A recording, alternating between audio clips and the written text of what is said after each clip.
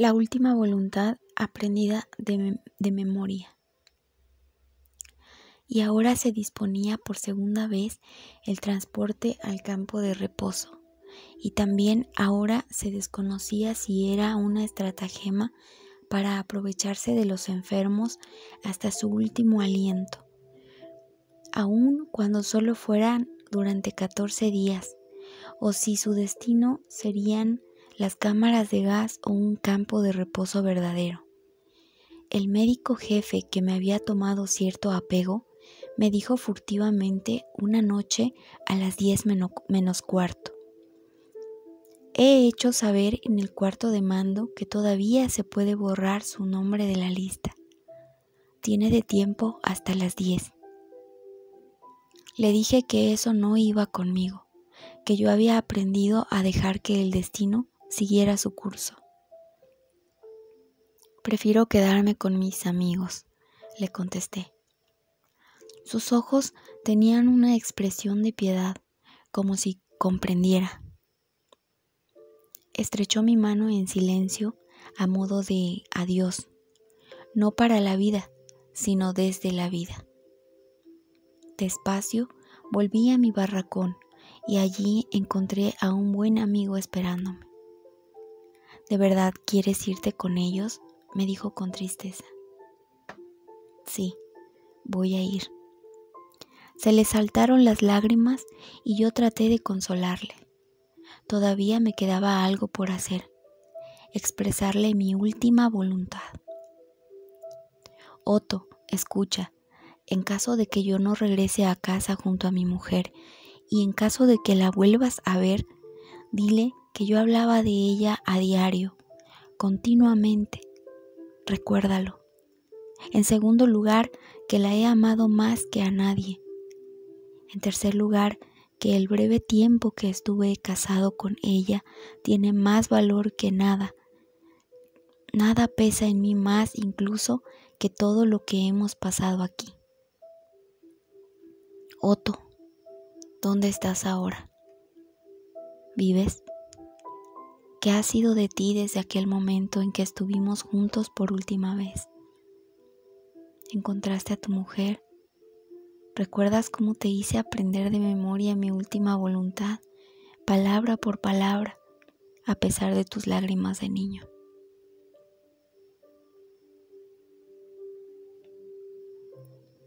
A la mañana siguiente partí con el transporte. Esta vez no era ningún truco no nos llevaron a la cámara de gas, sino a un campo de reposo de verdad. Los que me compadecieron se quedaron en un campo donde el hambre se iba a, ensañar en ellos con mayor fiereza que en este nuevo campo. Habían intentado salvarse, pero lo que hicieron fue sellar su propio destino. Meses después, tras la liberación, encontré a un amigo de aquel campo quien me contó que él, como policía, había tenido que buscar un trozo de carne humana que faltaba de un montón de cadáveres y que la rescató de un puchero donde la encontró cociéndose. El canibalismo había hecho su aparición.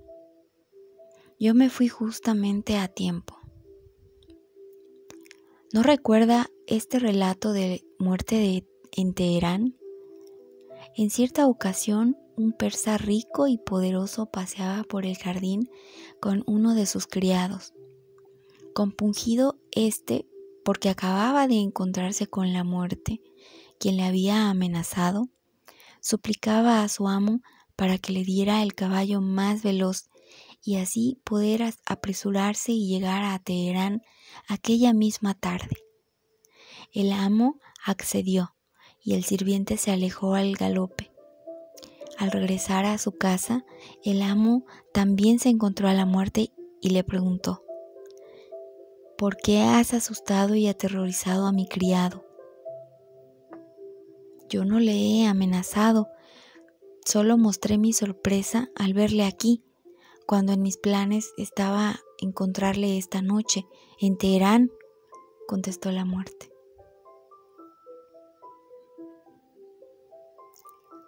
Planes de fuga. El prisionero de un campo de concentración temía tener que tomar una decisión o cualquier otra iniciativa. Esto era el resultado de un sentimiento muy fuerte que consideraba al destino dueño de uno y creía que bajo ningún concepto se debía influir en él. Estaba además aquella apatía que en buena parte contribuía a los sentimientos del prisionero. A veces era preciso tomar decisiones precipitadas, que sin embargo podían significar la vida o la muerte. El prisionero hubiera preferido dejar que el destino eligiera por él. Este querer zafarse del compromiso se hacía más patente cuando el prisionero debía decidir entre escaparse o no escaparse del campo. En aquellos minutos en que tenía que reflexionar y decidir, y siempre era cuestión de unos minutos, sufría todas las torturas del infierno. ¿Debía intentar escaparse? ¿Debía correr el riesgo? También yo experimenté este tormento. Al irse acercando el frente de batalla, tuve la oportunidad de escaparme. Un colega mío que visitaba los barracones fuera del campo, cumpliendo sus deberes profesionales, quería evadirse y llevarme con él. Me sacaría de contrabando con el pretexto de que tenía que consultar con un colega acerca de la enfermedad de un paciente que requería el asesoramiento del especialista. Una vez fuera del campo, un miembro del movimiento de resistencia extranjero nos proporcionaría uniformes y alimentos. En el último instante surgieron ciertas dificultades, dificultades técnicas y tuvimos que regresar al campo una vez más. Aquella oportunidad nos sirvió para surtirnos de algunas provisiones, unas cuantas patatas podridas y hacernos cada uno con una mochila. Entramos en un barracón vacío de la sección de mujeres, donde no había nadie, porque éstas habían sido enviadas a otro campo. El barracón estaba en el mayor de los desórdenes. Resultaba obvio que muchas mujeres habían conseguido víveres y se habían escapado. Por todas partes había desperdicios, pajas, alimentos descompuestos y losa rota. Algunos tazones estaban todavía en buen estado y nos hubieran servido de mucho, pero decidimos dejarlos. Sabíamos demasiado bien que en la última época en que la situación era cada vez más desesperada, los tazones no solo se utilizaban para comer, sino también como palanganas y orinales. Regía una norma de cumplimiento estrictamente obligatorio que prohibía tener cualquier tipo de utensilio en el barracón. Pero muchos prisioneros se vieron forzados a incumplir esta regla en especial los afectados de tifus, que estaban demasiado débiles para salir fuera del chamizo y ni aún ayudándoles. Mientras yo hacía de pantalla, mi amigo entró en el barracón y al poco volvió trayendo una mochila bajo su chaqueta. Dentro había visto otra que yo tenía que coger. Así que cambiamos los puestos y entré yo al escarbar entre la basura buscando la mochila. Y sí, podía, un cepillo de dientes. Vi de pronto, entre tantas cosas abandonadas, el cadáver de una mujer. Volví corriendo a mi barracón y reuní todas mis posesiones, mi cuenco, un par de mitones rotos, heredados, heredados de un paciente de tifus, y unos cuantos recortes de papel con signos taquigráficos, en los que, como ya he mencionado antes, había empezado a reconstruir el manuscrito que perdí en Auschwitz. Pensé, pasé una última visita rápida a todos mis pacientes que, hacinados, yacían sobre los tablones podridos a ambos lados del barracón. Me acerqué a un paisano mío, ya casi medio muerto, y cuya vida Yo me empeñaba en salvar a pesar de su situación. Tenía que guardar secretos sobre mi intención de escapar. Pero mi camarada pareció adivinar que algo iba mal. Tal vez yo estaba un poco nervioso. Con la voz cansada me preguntó, ¿Te vas tú también? Yo lo negué, pero me resultaba muy difícil evitar su triste mirada. Tras mi ronda volví a verle, y otra vez sentí su mirada desesperada y sentí como una especie de acusación. Y se agudizó en mí la desagradable sensación que me oprimía desde el mismo momento en que le dije a mi amigo que me escaparía con él. De pronto decidí por una vez mandar en mi destino. Salí corriendo del barracón y le dije a mi amigo que no podía irme con él. Tan pronto como le dije que había tomado la resolución de quedarme con mis pacientes, aquel sentimiento de, de, desdicha me abandonó. No sabía lo que me traerían los días sucesivos, pero yo había ganado una paz interior como nunca antes había experimentado. Volví al barracón, me senté en los tablones a los pies de mi paisano y traté de consolarle. Después charlé con los demás intentando calmarlos en su delirio. Y llegó el último día que pasamos en el campo. Según se acercaba el frente, los transportes se habían ido llevando a casi todos los prisioneros a otros campos. Las autoridades, los capos y los cocineros se habían esfumado. Aquel día se dio la orden de que el campo iba a ser totalmente evacuado al atardecer.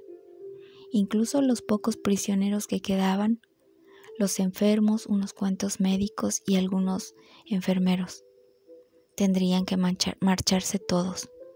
Por la noche había que prenderle fuego al campo. Por la tarde aún no, no habían aparecido los camiones que vendrían a recoger a los enfermos. Todo lo contrario, de pronto se cerraron las puertas del campo y se empezó a ejercer una vigilancia estrecha sobre la alambrada para evitar cualquier intento de fuga. Parecía como si hubieran condenado a los prisioneros que quedaban a quemarse con el campo. Por segunda vez mi amigo y yo decidimos escapar. Nos dieron la orden de enterrar a tres hombres al otro lado de la alambrada. Éramos los únicos que teníamos fuerzas suficientes para realizar aquella tarea. Casi todos los demás yacían en los pocos barracones que aún se utilizaban postrados con fiebre y delirando. Hicimos nuestros planes. Cuando lleváramos el primer cadáver, sacaríamos la mochila de mi amigo, ocultándola en la vieja tina de ropa sucia que hacía las veces de ataúd. Con el segundo cadáver llevaríamos mi mochila del mismo modo y en el tercer viaje trataríamos de evadirnos. Los dos primeros viajes los hicimos según lo acordado. Cuando regresamos esperé a que mi amigo buscara un trozo de pan para poder comer algo los días que pasáramos en los bosques. Esperé. Pasaban los minutos y yo me impacientaba cada vez más al ver que no regresaba. Después de tres años de reclusión, me imaginaba con gozo cómo sería la libertad. Pensaba en lo maravilloso que sería correr en dirección al frente, más tarde supe lo peligroso que hubiera sido semejante acción. Pero no llegamos tan lejos. En el momento en que mi amigo regresaba, la verja del campo se abrió de pronto y un camión espléndido de color aluminio con grandes cruces rojas pintadas entró despacio hasta la explanada donde formábamos. En él venía un delegado de la Cruz Roja de Ginebra y el campo, y los últimos internados quedaron bajo su protección. El delegado se alojaba en una granja vecina para estar cerca del campo en todo momento y acudir enseguida en caso de emergencia. ¿Quién pensaba ya en evadirse? Del camión descargaban cajas con medicinas, se distribuían cigarrillos, nos fotografiaban y la alegría era inmensa. Ya no teníamos necesidad de salir corriendo ni de arriesgarnos hasta llegar al frente de batalla. En nuestra excitación habíamos olvidado el tercer cadáver, así que lo sacamos afuera y lo dejamos caer en la estrecha fosa que habíamos cavado para los tres cuerpos. El guardia que nos acompañaba, un hombre relativamente inofensivo, se volvió de pronto extremadamente amable. Vio que podían volverse las tornas y trató de ganarse nuestro favor. Se unió a las breves oraciones que ofrecimos a los muertos antes de echar la tierra sobre ellos. Tras la tensión y la excitación de los días y horas pasados, las palabras de nuestras oraciones rogando por la paz fueron tan fervientes como las más ardorosas que voz humana haya musitado nunca. El último día que pasamos en el campo fue como un anticipo de la libertad, pero nuestro regocijo fue prematuro.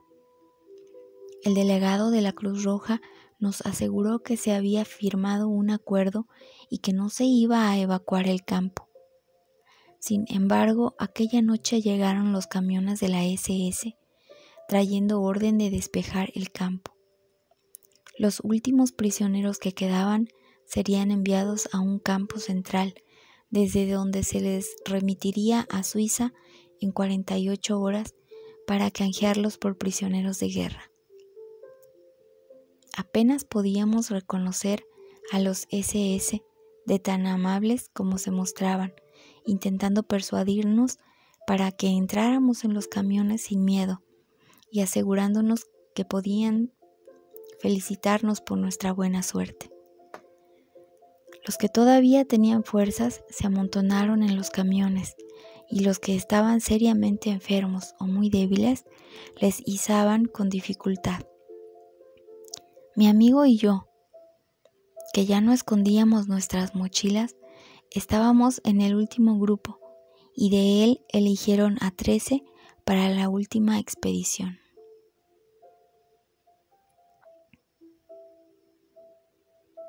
El médico jefe contó el número preciso, pero nosotros dos no estábamos entre ellos. Los trece subieron al camión y nosotros tuvimos que quedarnos. Sorprendidos, desilusionados y enfadados, increpamos al doctor, que se excusó diciendo que estaba muy fatigado y se había distraído. Aseguró que había creído que todavía teníamos intención de evadirnos. Nos sentamos impacientes, con nuestras mochilas a la espalda y esperamos con el resto de los prisioneros a que viniera un último camión. Fue una larga espera. Finalmente nos echamos sobre los colchones del cuarto de guardia, ahora desierto, exhaustos por la excitación de las últimas horas y días, durante las cuales habíamos fluctuado continuamente entre la esperanza y la desesperación. Dormimos con la ropa y los zapatos puestos, listos para el viaje. El estruendo de los rifles y cañones nos despertó. Los fogonazos de las bengalas y los disparos de fusil iluminaban el barracón. El médico jefe se precipitó dentro ordenándonos que nos echáramos a tierra. Un prisionero saltó sobre mi estómago desde la litera que quedaba encima de la mía con zapatos y todo. Vaya si me despertó. Entonces nos dimos cuenta de, de, lo que sucedía. La línea de fuego había llegado hasta nosotros. Amenguó el tiroteo y empezó a amanecer. Allá afuera en el mástil junto a la verja del campo, una bandera blanca flotaba al viento.